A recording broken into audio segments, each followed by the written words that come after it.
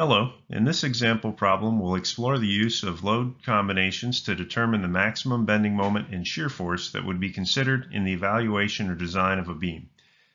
The LRFD load combinations from the 2016 edition of the ASCE 7 standard will be applied to a simply supported beam under two different loading cases.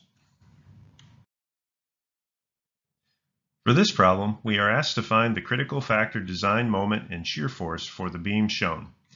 It's a simply supported beam with a span length of 30 feet, subjected to a dead load consisting of a uniformly distributed load of 725 pounds per linear foot and a live load consisting of two point loads applied at the third points of the beam, each with a magnitude of 12 kips.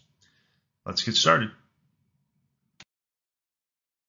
As a point of reference, this slide shows the different permutations of the LRFD load combinations from the 2016 ASCE 7 standard that we have been considering for most of our problems. And for a problem like this, where all we have are dead loads and live loads, only two of these permutations are needed.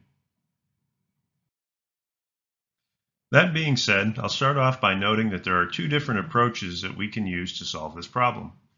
Using what I'll call approach number one, you can first factor the loads that are applied to the beam, and then calculate the critical bending moments and shear forces resulting from those factored loads using the two load combinations.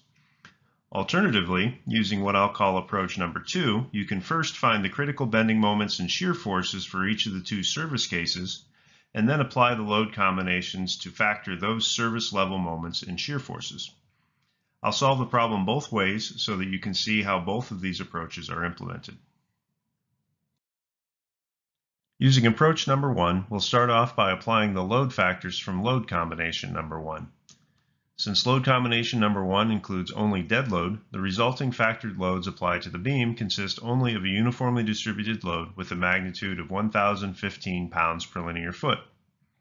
From this loading, we can sketch the shear force and bending moment diagrams, and under these loads, we can see that the maximum shear force occurs at each end of the beam with a magnitude of 15.2 kips, and that the maximum bending moment occurs at mid-span with a magnitude of 114 kip feet. Still using approach number one, we'll now apply the load factors that are included in load combination number two. The resulting factor dead load has a magnitude of 870 pounds per linear foot, and the factored live loads each have a magnitude of 19.2 kips. Note that I use a subscript U for ultimate to indicate that these loads have been factored. From this loading, we can again sketch the shear force and the bending moment diagrams, and under these loads, we can see that we have a maximum shear force still occurring at each end of the beam with a magnitude of 32.3 kips, and a maximum bending moment occurring at mid-span with a magnitude of 290 kip feet.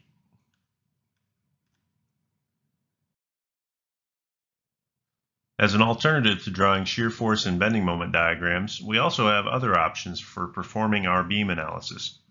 On this slide, I'm showing a couple of pages from the AISC Manual of Steel Construction that include beam tables where shear forces, bending moments, and deflections are provided for many commonly encountered beam configurations and loadings.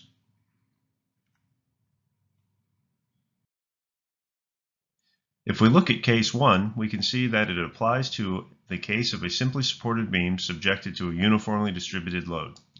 From this, we can see that the maximum shear force occurs at each end of the beam and has a magnitude of WL over 2, and that the maximum bending moment occurs at mid-span and has a magnitude of WL squared over 8. Case 9 applies to a simply supported beam subjected to two evenly spaced point loads. From this, we can see that the maximum shear force occurs at each end of the beam and has a magnitude of P, and that the maximum bending moment occurs in between the two point loads and has a magnitude equal to P times A, where A is the distance between the support and the point where the point load is applied. Considering the factored loading from load combination number 2, we can apply the equations from the AISC beam tables to determine the maximum factored shear, V sub u, and the maximum factored bending moment, M sub u. Note that the values that I calculated here using the equations match the values that we determined by drawing shear force and bending moment diagrams.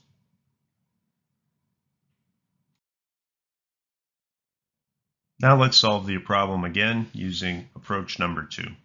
Using this approach, we first do our beam analysis to determine the service level shear forces and bending moments, and then apply the factors from our load combinations to these forces and bending moments.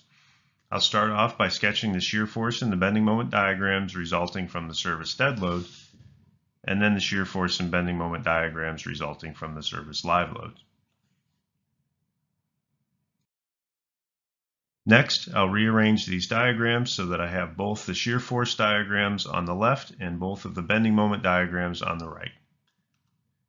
Now we can evaluate the load combinations using the service level shears at the left end of the beam, first by applying load combination number one and then by applying load combination number two.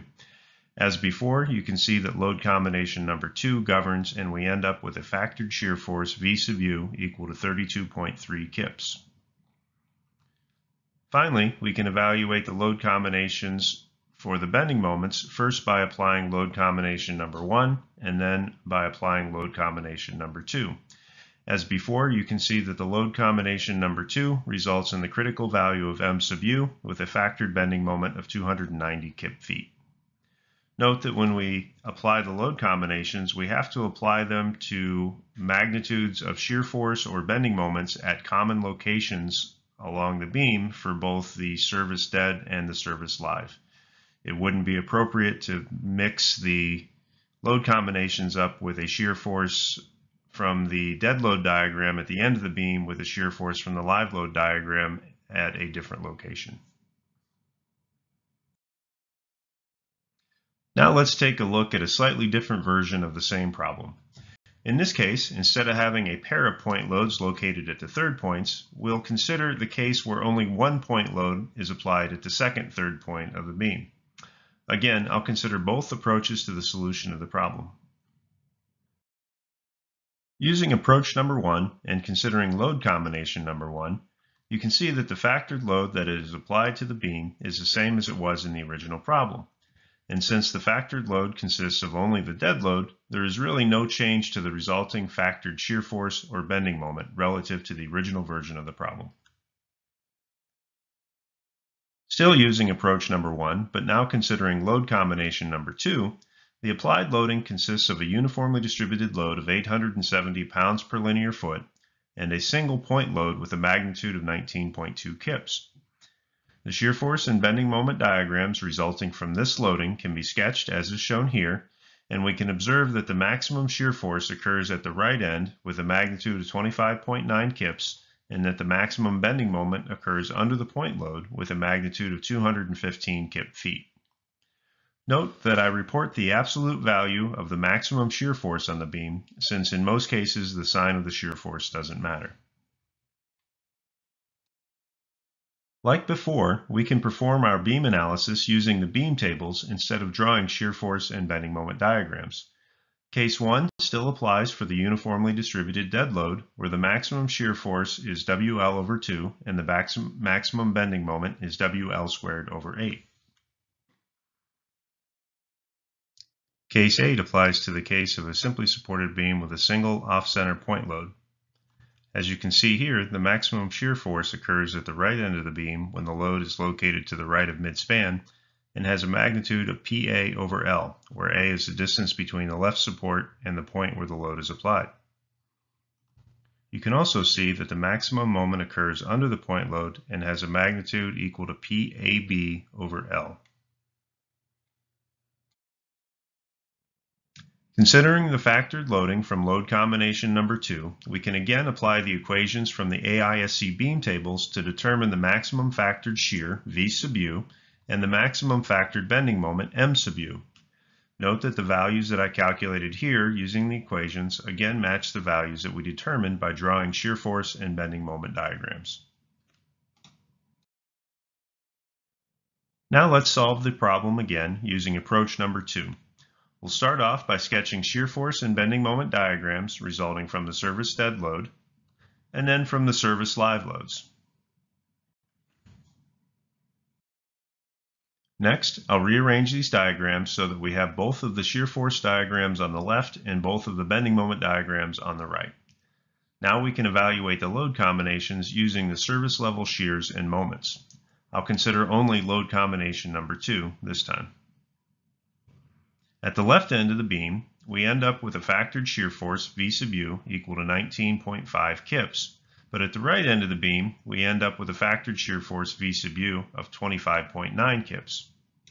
Finally, we can evaluate the bending moments, but first we observe that the maximum dead load moment occurs at a different location on the beam than the maximum live load moment. If we first evaluate the load combination at mid-span, we have to calculate the live load moment at that location. Since the bending moment diagram is linear, we can use similar triangles to determine that the midspan live load moment is 60 kip feet. Then we can evaluate load combination number two at that location and find that m sub u is equal to 194 kip feet.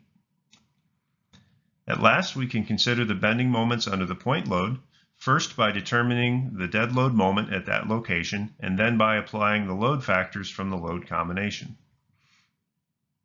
We again determine that the factored moment m sub u is equal to 215 kip feet at the point where the point load is applied. Okay, that wraps up this problem. In this example, we explored two different approaches to applying load combinations using two different methods of beam analysis, and we ended up with the same results in all cases. Note, however, that when we get into more sophisticated analyses, specifically second-order analyses where equilibrium of the structure is based on the deformed geometry instead of on the original geometry, that we have to factor the loads before we perform the analysis. But that's probably quite a ways away for most of you. Anyways, thanks a lot.